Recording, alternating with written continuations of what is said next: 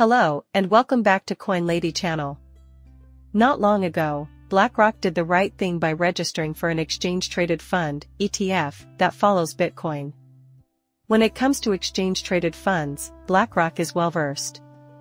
Asset Management has presented an exchange-traded fund, ETF, that follows EFA, and the firm has already registered for the iShares Bitcoin Trust, a spot Bitcoin ETF.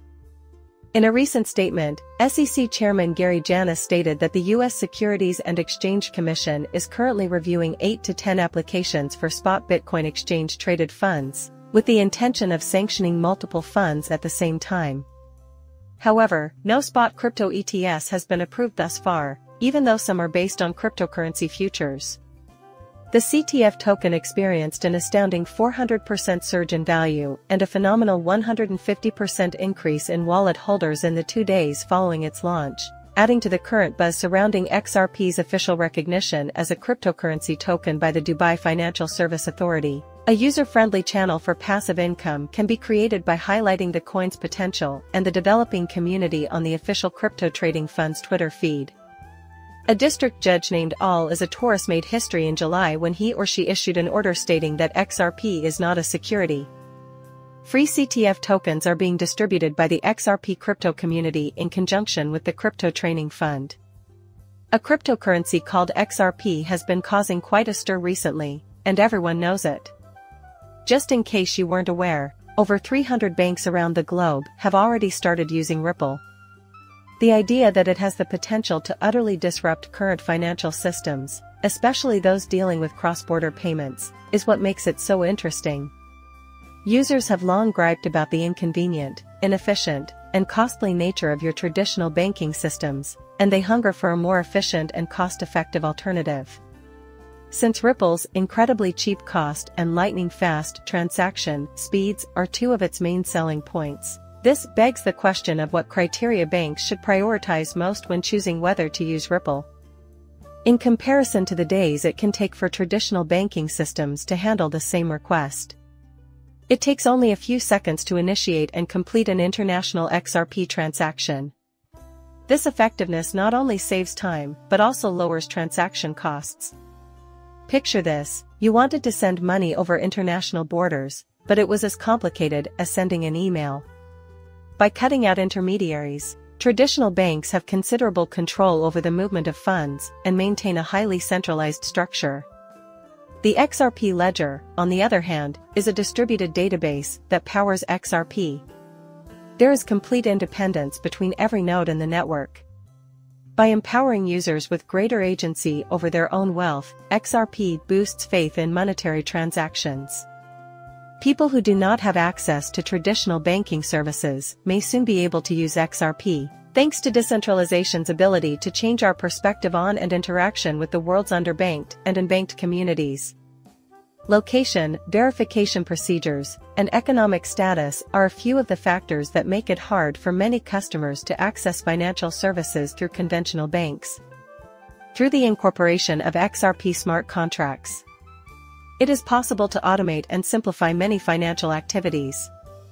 Doing away with middlemen and the associated problem. Because XRP prioritizes interoperability, it may function in conjunction with conventional financial services, making the transition to it easier and less disruptive. People who were previously unable to utilize standard banking services may now be able to do so thanks to XRP's decentralized and easily available characteristics currently in place monetary systems. How might the rise of XRP affect well-established institutions? Let's examine some real-world case studies and talk about it. The efficiency and low cost of XRP's decentralized financial solutions encourage more people to use them compared to the traditional banking system, which puts traditional banks under pressure to adapt to the growing competition from XRP as more people use their products and services. In what ways does Ripple help? Although XRP presents a significant danger to these long-standing financial organizations in the future, it is crucial to recognize their adaptability in light of new technology. Banks show flexibility. Traditional financial institutions may decide to upgrade their services to stay current. Instead of seeing XRP as a direct danger, financial firms are adjusting to the changing regulatory landscape by utilizing blockchain technology and cryptocurrencies in their operations. There has been a long history of regulatory compliance, which has made it very difficult for XRP and other cryptocurrencies to guarantee regulatory compliance. It's possible that conventional banks are better suited to deal with these matters, including facilitating the integration of digital currencies, regulatory authorities, and XRP, and ensuring compliance with financial regulations. Instead of seeing each other as rivals, developers may work together to build a system that promotes cohabitation. Traditional banks and XRP might work together to find investing solutions that work for both parties. While dealing with XRP, Wealth management and customer-centric services may be the areas of focus for conventional banks as they strive for efficiency in cross-border transactions. In order to better serve their consumers, these two financial institutions may form an ecosystem by integrating their capabilities and providing a broader range of services more efficiently. That being said, the technological gap is a major obstacle to XRP and traditional banks collaborating. Crypto and blockchain integration into the existing conventional banking system will necessitate substantial investment and restructuring. In addition, overcoming these technological hurdles might be challenging for both sides. We need to conquer technological hurdles and win over customers' hearts before we can usher in a new era of finance with XRP. Traditional banks have a long history of addressing clients' demands through familiarity and trust. Traditional banks can diversify their customer bases and their roles in the economy by targeting certain markets or providing customers with tailored financial solutions. It is also possible for more traditional organizations to offer personalized services by leveraging their current infrastructure. By leveraging this aspect of trust, conventional banks can emphasize their enduring dependability as a foundation of monetary stability. The efficiency of XRP in cross-border transactions is a nice bonus. The continued intense competition between XRP and conventional banks in the financial sector, however, may encourage both to enhance and broaden their offerings.